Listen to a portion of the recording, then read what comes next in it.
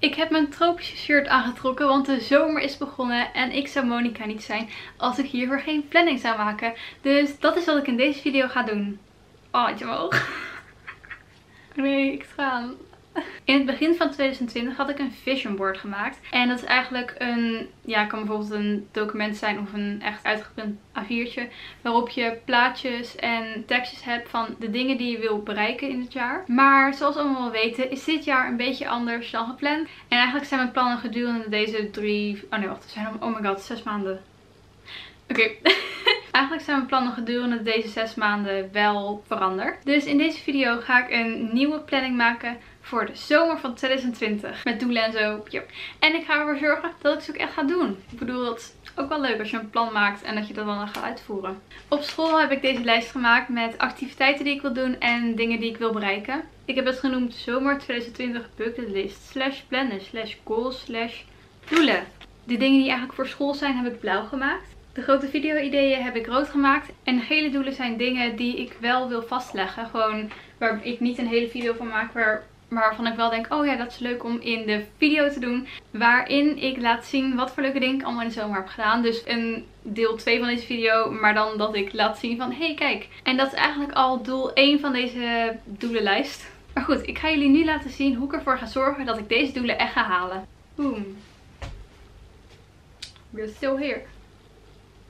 Kijk mijn shirt. Oh my god, ik ben er zo blij mee. Hij is eigenlijk van mijn moeder en ze heeft hem ergens gekocht in Florida. Flor ja, Florida. Dit shirt komt uit Florida en het is echt zo zomers. Dus laten we snel beginnen. Welkom aan mijn bureau. Ik heb mijn telefoon erbij gepakt. Want ik ga werken met de apps Pinterest en Canva. Nou ja, Canva is een website. Maar wat is het idee? Ik ga nu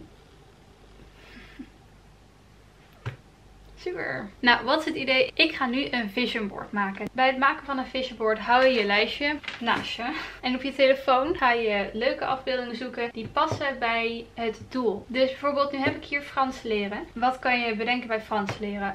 Um, een Eiffeltoren bijvoorbeeld. Stel ik heb geen idee. Dan typ ik gewoon eventjes in. Frankrijk. Oh nee, France, want Engels. Nou, allemaal leuke plaatjes van landschappen.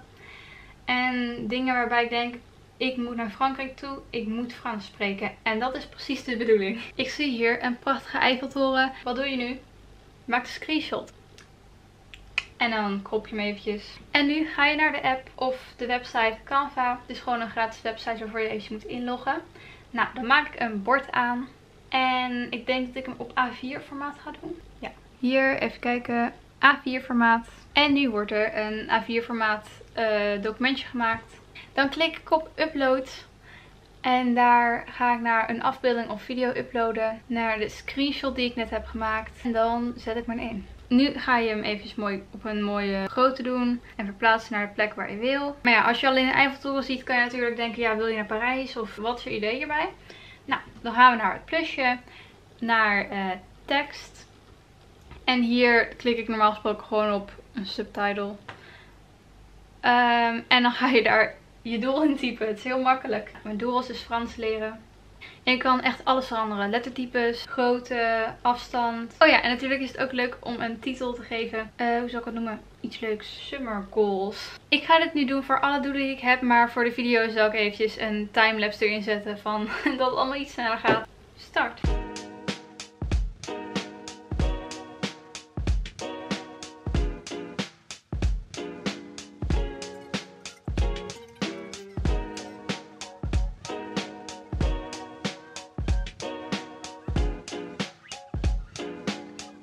Het is vandaag super heet en ik kan niet zo goed nadenken. Ik heb mijn vision board afgemaakt en dit is hoe die geworden is. Ik heb alles een beetje gecategoriseerd in uh, linksboven in school. En dan heb ik rechts een beetje de leuke dingen met vriendinnen en familie. Aan de linkerkant in het midden zien we uh, dingen die ik wil doen. Het is niet allemaal super geworden, maar in ieder geval twee transformaties. Dan heb ik rechts in het midden de social media dingen zoals YouTube. En dan als laatste categorie heb ik um, en random dingen. En rechts onderin heb ik eigenlijk gewoon alles opgeschreven. Gewoon alle dingen die ik op deze lijst had. Dus, wat zijn er eigenlijk mijn zomerdoelen voor dit jaar? Ik ga ze nu opnoemen en ik hoop dat je er wat inspiratie uit kan halen. En ja, daar gaan we dan. Bovenaan mijn lijst heb ik dus staan wat je al wist. Frans leren. Nou, waarom doe ik dat? Omdat uh, ik verander economie naar uh, Frans. Ik moet dus dingen inhalen. Ik heb een jaar niet meer gedacht aan Frans. En misschien komt hier ook een apart video over. Dus dan gaan we gelijk door naar het volgende doel. En dat is een pergola afmaken. We hebben een plekje aan het water. En het is echt wel veel mooier geworden. Maar het is nog niet schattig genoeg. Dus dat ga ik doen. In het derde ding heb ik echt super veel zin. Want dat is met mijn vriendinnen logeren in een tent. En dat doen we eigenlijk elk jaar. Dit jaar ook. Dus het gaat sowieso lukken. Dan wil ik ook mijn kamer afmaken. Dan bijvoorbeeld dit bureau. Het is heel leuk. En je kan er leuk dingetjes op neerzetten. Maar het is niet handig. Het is zo ondiep om dingen op te zetten. En ook als ik mijn laptop hier heb. En ook nog mijn tekentablet. Het past gewoon niet. Alleen kan ik er pas mee beginnen als deze grote kast hier midden uit mijn kamer is. Ik had hier ook opgeschreven workout routine. Maar ik weet gewoon dat ik dat niet leuk vind. Dus ik dacht wat nou als ik gewoon andere dingen ga doen. Zoals meer buiten zijn. Heel simpel. Ik ga niet de workouts doen. Ik heb het zo warm. Oh my god. Goed, dan ga ik gelijk door naar het volgende punt. En dat is lange dagen buiten zijn. Want het is zomer. En de vorige zomer ben ik naar mijn idee bijna niet buiten geweest. En ik heb heel veel binnen gezeten. Ik weet echt niet wat me bezielde. Maar het is zo warm. En dan een heel cliché dingetje. Maar dat is de zonsopkomst zien.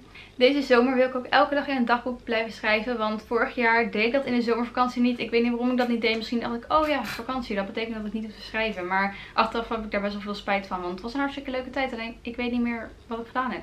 Ik wil ook heel graag een lange wandeling maken. En dan door de natuur. Het volgende op mijn lijstje is... Oh ja, elke zondag om 9 uur uploaden.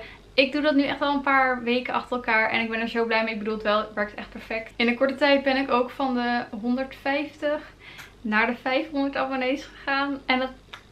Thank you. Ik weet ook niet of het gaat lukken, maar ik dacht ik zet het gewoon op mijn lijstje. En dat is de 1000 abonnees halen. Het is niet heel erg een goal van, oh ja, dat moet dan gehaald zijn. Maar als het lukt, dan is het alleen maar leuk. En ik dacht dus ook, als het zomervakantie is, heb ik natuurlijk wel gewoon dingen om te doen. Maar ik kan natuurlijk ook gewoon iets kleinere video's maken. En die dan als extra video uploaden. Gewoon ergens random op een woensdag of zo. Of een donderdag. I. Omdat ik zoveel tijd besteed aan YouTube ben ik iets minder bezig met Instagram. Of in ieder geval posten van Instagram. Want ik zet sowieso elke dag dingen in mijn verhaal. En daar ben ik echt super actief. Maar ik wil dus minstens elke week iets posten op Instagram. Ik wil ook met mijn vriendinnen picknicken. En dat is gewoon zoiets wat je even leuk in de middag gaat doen. Dus dat is niet echt een super goal waarvoor ik weken moet trainen.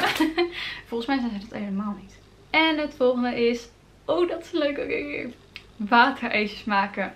Nou, en dat is toch een verhaal. Ik dacht, okay, vroeger toen ik mijn eerste kanaal had met mijn nicht, um, hadden we een video gemaakt genaamd waterijsjes maken.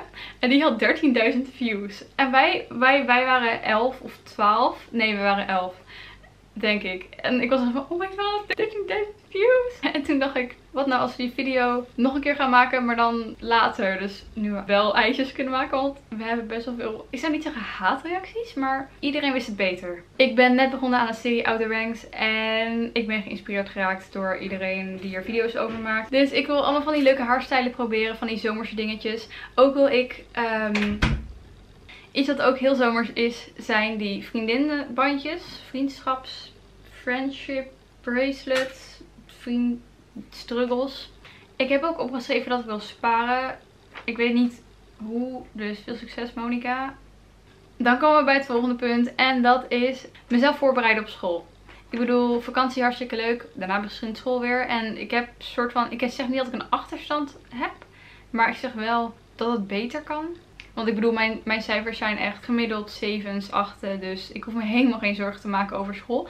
Maar het is wel leuk om er wat aan te doen. Oh ja, dat is best wel een beetje erg eigenlijk. Ik kan prima Engels luisteren en schrijven. Alleen het spreken is een klein beetje dramatisch. Dus ik dacht van, nou als ik gewoon elke dag ga oefenen. Gewoon een soort van vlog of zo. I don't know, in het Engels. En dan gewoon voor mezelf, niet voor jullie. Ik ga mezelf dat echt niet aandoen. en ik ga jullie dat niet aandoen. Oh, dat zou zo erg zijn. Waarschijnlijk komen er nog wel doelen bij. Want ik heb altijd weer nieuwe ideeën. Gewoon van, oh ja, dat lijkt me ook wel leuk. En waarom doe ik dat niet? Dus dan doe ik dat erbij. Um, alleen de laatste twee doelen voor nu zijn deze video maken en uploaden. En om tijdens het uitvoeren van de doelen die ik voor hiervoor heb genoemd te filmen en daar dan een grote video over te maken van dit is gelukt, dit is niet gelukt. Ik hoop dat ik je geïnspireerd en gemotiveerd heb om van deze zomer de beste ooit te maken. Laat ook weten wat jouw doelen zijn of waarvan je denkt, hey, dit kan er nog bij. Misschien vind je dat heel leuk. En dan zie ik je de volgende keer. Joe!